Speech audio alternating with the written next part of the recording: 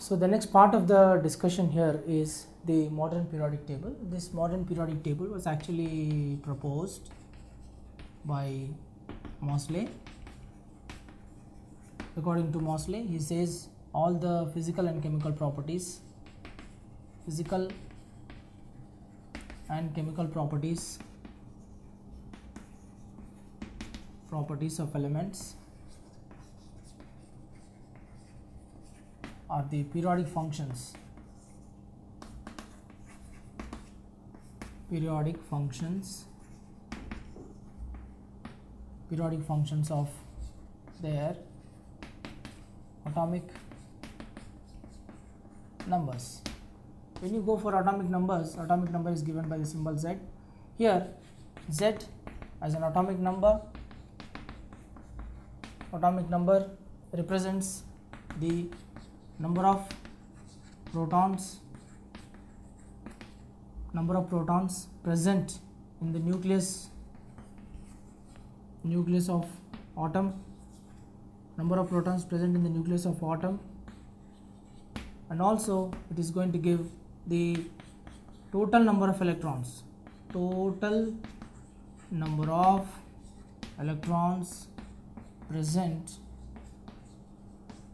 present in neutral atom present in neutral atom this is the significance of atomic number. Apart from this this modern periodic table was also extended. The discussion was extended by Niels Bohr. And uh, according to Niels Bohr he said that all the physical and chemical properties of the elements are the periodic functions the periodic functions the periodic function of elements is taken as electronic configuration is taken as electronic configuration by Niels Bohr. The main advantage of the modern periodic table is to eliminate to eliminate the problem of inversion pairs inversion pairs of elements in periodic table. In periodic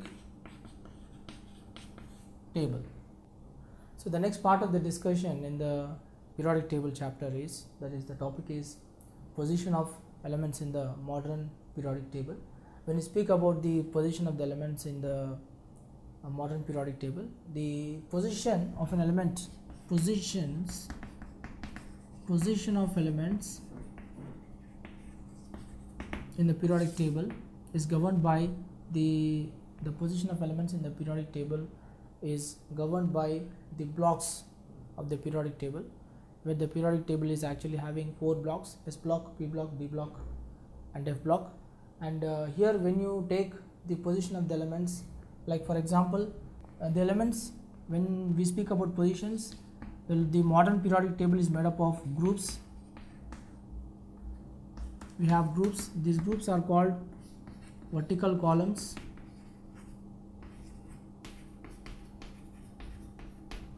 Vertical columns. And we have periods horizontal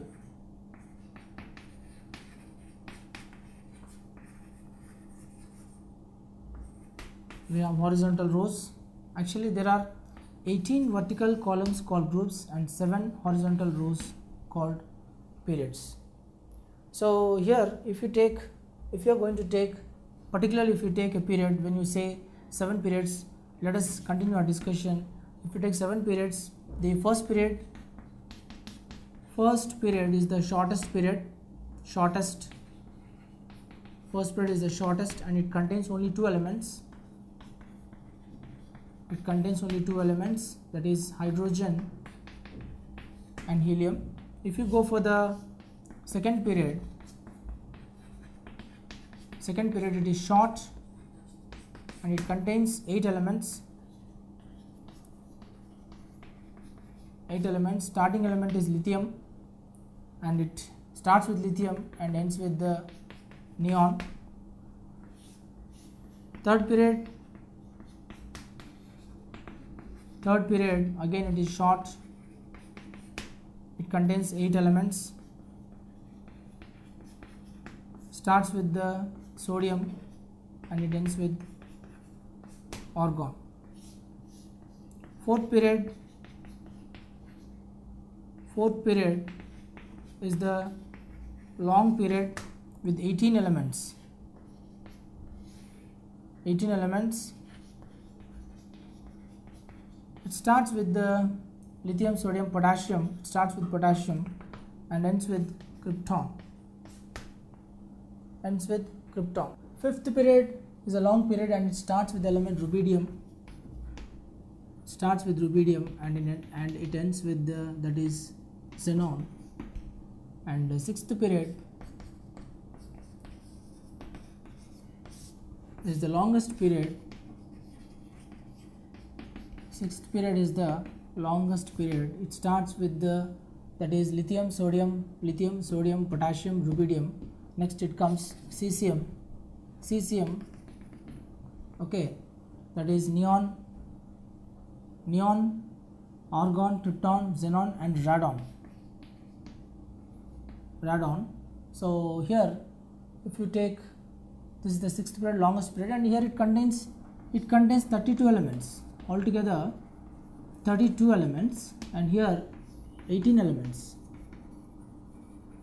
It has 18 elements and the last one 17th uh, so I mean 7th period if you take it is the incomplete. Incomplete period.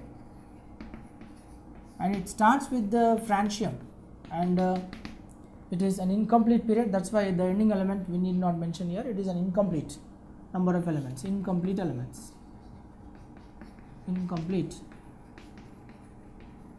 elements. In fact in fact in today's latest uh, updated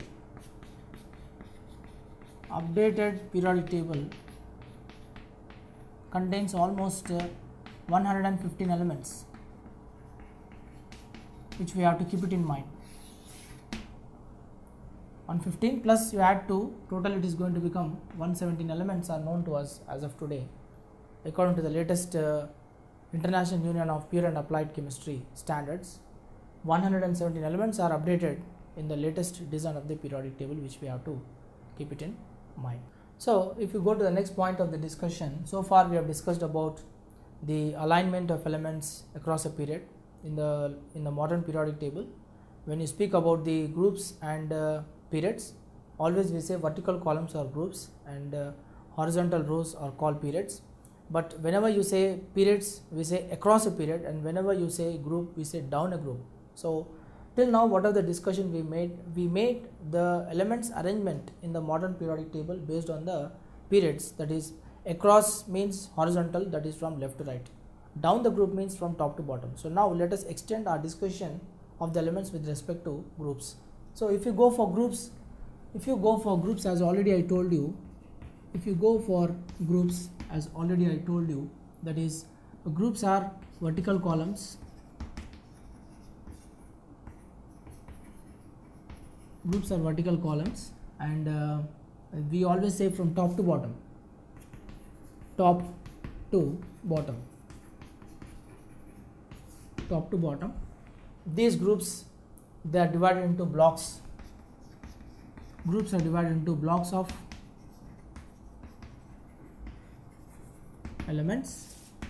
There are four blocks. S block elements. P block elements. D block elements. And uh, F block elements. If you go for S block elements, S block is again made up of two groups.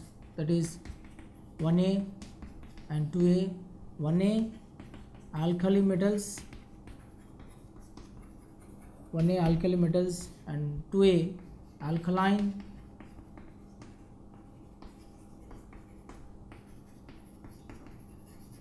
Earth metals.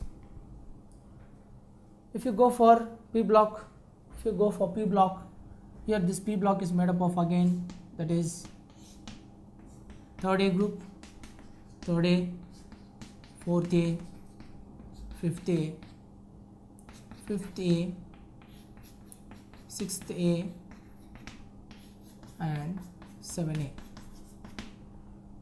7a and one more the last one is that is 8th a group. If you go for third a it is called boron family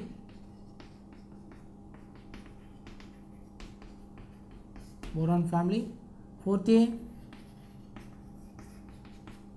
Carbon family. Fifth a. Nitrogen family. Sixth a. Oxygen family. And seventh a. Halogens. Halogens family. And eighth a. Zero group or noble gases.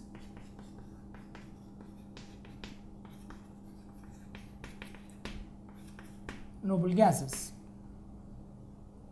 So based on this classification if you go for similarly if you go for d block if you go for d block if you go for d block and f block d block elements are also called transition elements. And uh, f block elements are also called inner transition elements.